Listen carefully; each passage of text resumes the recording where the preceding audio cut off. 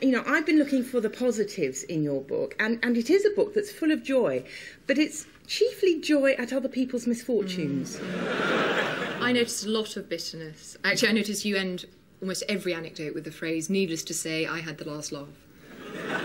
Yeah, well, you, you could end some of your chapters with needles to say. I, I took drugs.